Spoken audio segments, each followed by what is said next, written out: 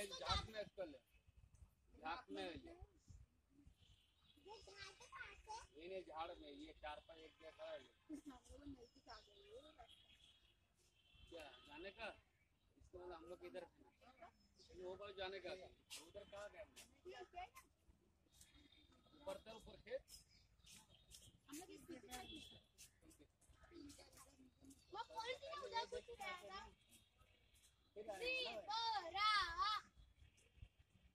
good stuff. Mm -hmm.